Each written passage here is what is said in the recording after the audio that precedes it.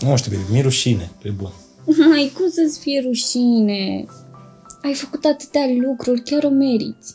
Da, dar mi-e frică să nu vină cu texte de alea, că vezi, doamne, a fost creștere economică, că e surplus de bani în firmă, cum fac toți șefii, că știi cum fac. Na, acum dacă stai și tu să te plăși, nici nu o să rezolvi. Te duci, îl înfrunți, îți cer drepturile.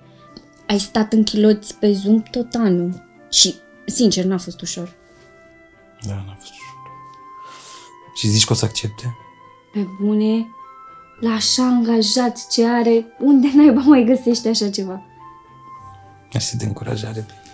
Hai, promit că mâine mă duc. Așa, iubirea mea. Cer ce el meu.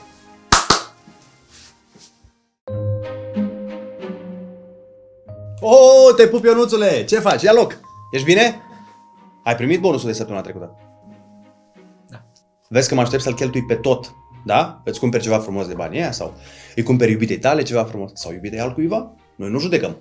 Aș vrea să vorbim un pic despre veniturile mele, dacă se poate. Dar sigur, Ionuțule, zi, ce nelămuriri ai?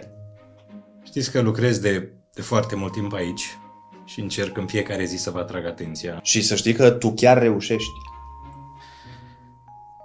Aș vrea o micșorare de salariu. Wow, wow, wow, wow. Ionuț, hai să ne calmăm un pic prima oară, da? Și după aia, mai spune o dată, te rog. Ați auzit bine. Vreau un salariu mai mic.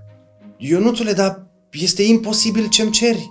Știi foarte bine că trecem printr-o perioadă extraordinar de bună. N-am, n-am ce să fac. Fără supărare, dar așa zic toți patronii. E o perioadă de creștere, vin prea mulți bani de la patron, trebuie să cheltuim cât mai mult, am înțeles. Dar eu cred că vă permiteți să-mi scădeți salariul măcar cu 500 de lei. Eu așa cred. Da, Ionuțule, dar trecem printr-o perioadă cu profit prea mare. Am făcut și măriri de personal. La celelalte departamente ai văzut prin ce trec săracii? Le-am crescut salariile de două ori și unora chiar de trei ori. Acolo ne caz. Nu la tine. Ți-am crescut salariul odată în 12 luni? Păi tu ești chiar norocos. Păi da, dar mi-ați dat bonusuri de performanță. În fiecare lună mi-ați dat bonusuri de performanță. Mi-ați dat bonuri în plus de vacanță. Mi-ați dat și prima de Paște și prima de Crăciun. Ce să fac cu toți banii ăștia? Ce să fac? Eu știu ce zici, dar trebuie să înțelegi că așa e situația acum. N-am ce face. Ok, o să vă spun verde în față. Da? Nu mai am pe ce să cheltui banii. Nu am pe ce să-i cheltui. Caut nimicuri pe internet doar ca să-i dau pe ceva. Ăsta e adevărul. Eu te înțeleg. Eu știu, așa e, dar asta e situația acum. Cu toții trebuie să facem sacrificii și să strângem un pic din dinți. Pe bune? Toți?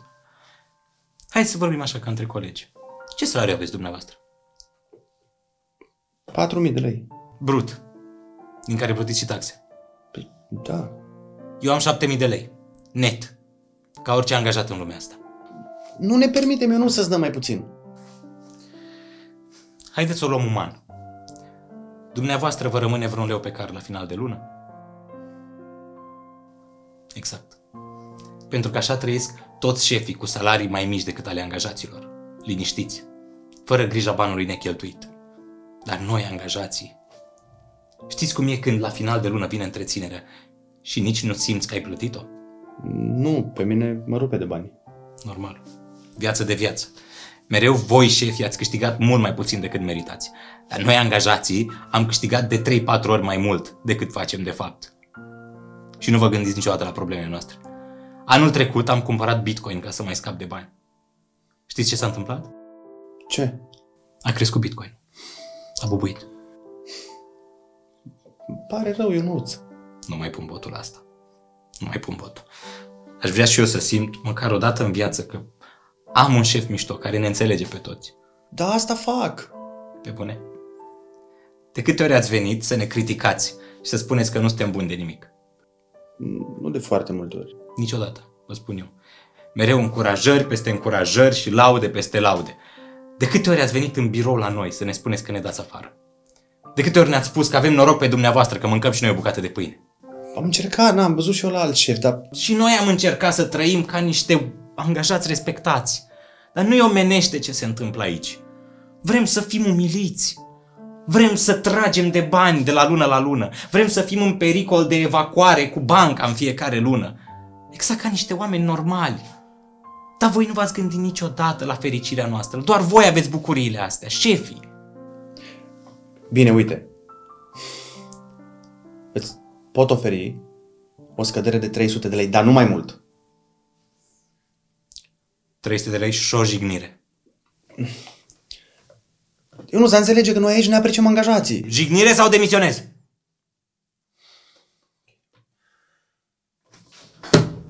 Ești vai de steaua ta, Ioane. Știi ce făceai dacă nu eram eu?